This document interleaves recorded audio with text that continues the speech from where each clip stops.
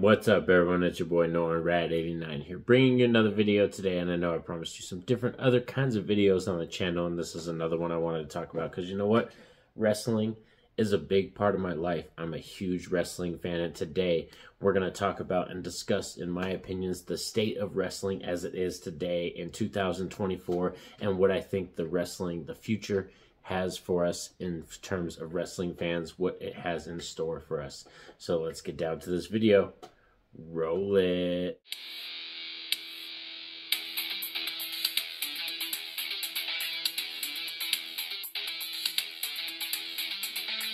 So in terms of my life, I've grown up a huge wrestling fan my entire life. I've been playing wrestling games since, you know, way back in the day since the Sega Genesis era, going into the PlayStation, going into Xbox era, you know, SmackDown versus Raw, all that kind of stuff. Like I've experienced all of that, and I kind of grew up in the mainstay of that.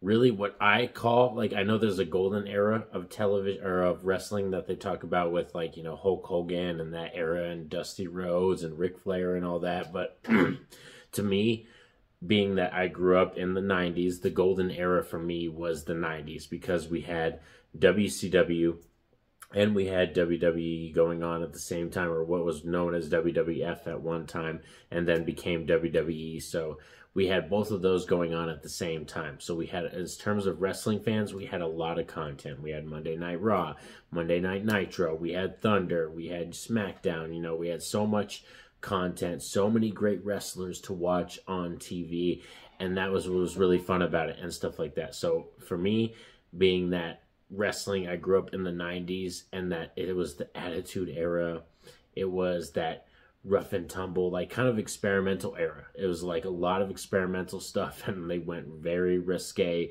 very raw, very real with a lot of the stuff that we saw on wrestling events and wrestling television at that time. And me being like, I was under 10 for most of that time, like experiencing all that stuff. But I got introduced to wrestling through my grandfather, and he's a huge wrestling fan since the Gorgeous George era, since Dusty Rhodes era, Ric Flair, you know, Harley Race. My grandfather was into all of those cats. So it's like he was into the old school wrestlers and really turned me on to wrestling and that's why I love it now. And especially the fact that I've connected to with my son I've connected to through it with him you know what I mean?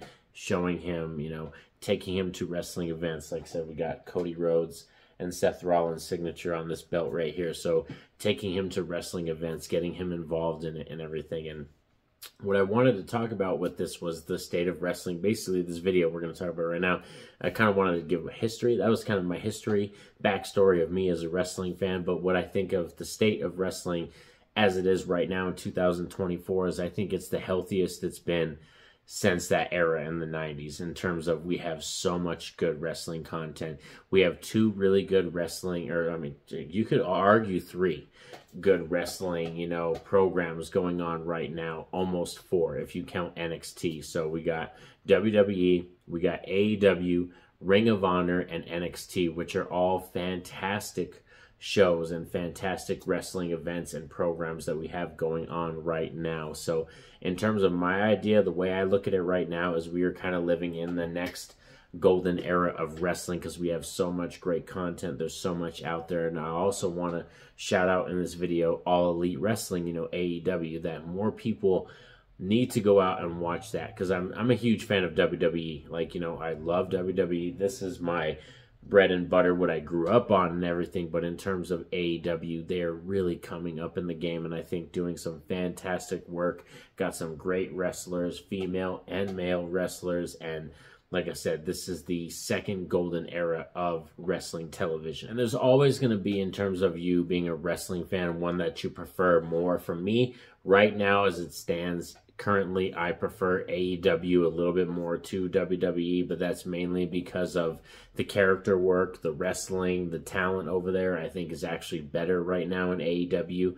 What WWE has that takes a cake over AEW always is going to be production value and spectacle, and also you know long history. You know, uh, like fans trust WWE because they have decades and decades and decades of history that they have in their pocket, you know what I mean, that they can talk about. So AEW is really have a they have a strong, you know, huge ladder to climb to get to that point. So that's one thing that I think WWE is always going to have over AEW is that spectacle, that long history of the brand and what it's come to and what it's gone through over the decades and stuff like that. But AEW has got some fresh, new, awesome talent. And like I said, I'm totally shouting them out right now because I want a lot of more other people to go watch them. And like I said, I'm telling you right now, in 2024, as it stands, me being a huge wrestling fan, I think we are totally in the second golden era of wrestling television. You know, we got so much great content. And like I said, if you're into other side programs and other side promotions, we got Ring of Honor, we got New Japan Wrestling, we got, you know, even TNA is still going on. So there's still stuff happening and everything. So that's very exciting that I think wrestling is like I said, the most vibrant, the most strong it's been since the late 90s going into the early 2000s. Thanks for sticking around with me for this video as we just chatted. Like I said, I just wanted to sit down and wanted to get some more content out there, get fresh. I know I've been very busy with life recently and getting a lot of stuff going on. You know, I got three kids and there's just a lot of life stuff going on right now so i've been busy with that but i'm going to be down to getting more videos done and i got some other videos planned with we got voices from mausoleum i got a video coming out with ken sledge from sledgehammer horror so make sure you stay tuned to the channel so you hear news on all those videos and like said like subscribe stay notified all that jazz because that definitely helps out the channel. But most importantly you all know what's up. Have a safe and happy day. Peace out.